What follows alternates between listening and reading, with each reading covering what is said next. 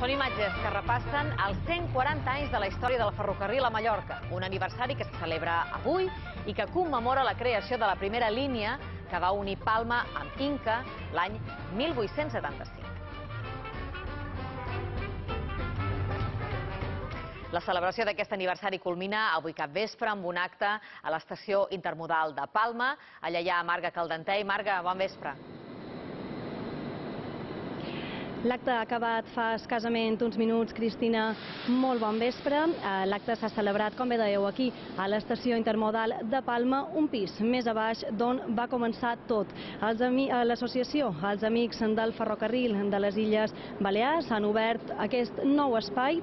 És un espai que, tot i que no es quedarà oficialment inaugurat fins al proper 31 de març, ja està disponible per tots els amants d'aquest mitjà de transport. Un espai en el qual hi podran trobar, per exemple, una trentena de fotografies i també material audiovisual en color i blanc i negre que resumeix la història del ferrocarril aquí a les illes, aquests 140 anys. També hi podran trobar un ampli patrimoni format per mapes, també antics reglaments de circulació i una àmplia biblioteca formada per 250 llibres on el tren és l'únic protagonista. A més, en aquest espai també s'hi ha instal·lat una, el projecte d'una maqueta on aquells aquells que siguin interessats hi podran fer circular les seves peces, ja que anirà en corrent. Aquí, en, aquesta, en aquest acte de commemoració d'aquests 140 anys, també s'ha presentat una aplicació.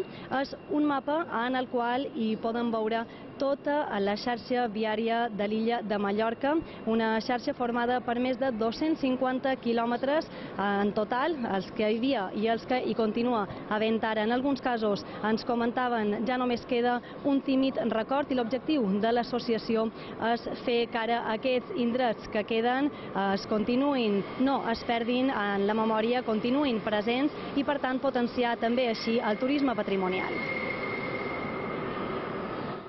L'objectiu que està clar i tothom te repetirà, que és donar a conèixer el món aquest, mantenir la seva història, recordar un passat industrial que se mos ha negat en els darrers anys i que en un futur espero que ens posem a l'altura que toca. Volem fer una maqueta perquè els socis que no en tenen a casa seva puguin venir aquí en els seus trens i fer-la rodar. Tindrà un 10 metres de llarg i un 20 d'ample les coses pues, a vegades no necessiten el seu temps per poder-se fer. Com puc veure, hi ha una maqueta que només hi ha un petit esquema un, de lo que se vol projectar, però jo crec que a poc a poc, amb un parell de mesos, estirar en condicions i estirar molt bé. El 24 de febrer de l'any 1875, les illes estrenen el ferrocarril. S'inaugura la línia Palma-Inca amb una màquina anglesa fabricada per la casa Nashmith Wilson, de quatre vagons i batiada amb el nom Mallorca. A bord hi viatgen 80 persones per poc més d'una passeta cadascuna i surten just des d'aquest punt ubicat entre els dos edificis situats a l'esplanada del Parc de les Estacions. Un quilòmetre zero marcat avui per aquestes línies pintades, que en breu seran substituïdes per dos trams de 24 metres d'antigues vies de tren. La setmana que ve començaran les obres de remodelació del paviment per fer-ho possible. El destí d'aquesta màquina era la Índia, però una renúncia de darrera hora per part dels seus compradors les fa quedar aquí. El seu primer viatge cap a la capital d'Esreguer dura 57 minuts sense fer cap aturada.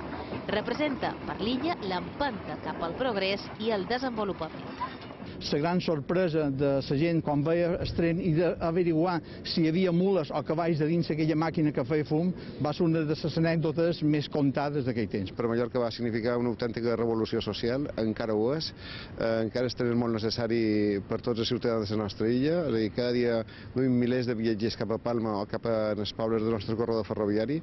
Aquell mateix dia s'inaugura a Inca el bar Estació. Na Margalida és la tercera generació que regenta aquest establiment. Assegura que va ser un gran impuls pel poble. Va ser molt important perquè duia molta mercancia. Era un tren que potser en la nit i tot feia viatges amb les mercancies que duien en els mercats, i llavors venia de la pobla carregat pel mercat. Això és una màquina de carbó i nosaltres no ens deixaven venir, però jo sempre anava en la filla del jefe. I, i claro, veníem i mos hi ficàvem i el maquinista ens deixava col·legiar per tot. 140 anys d'història que avui recordam i que ens deixa imatges com aquestes.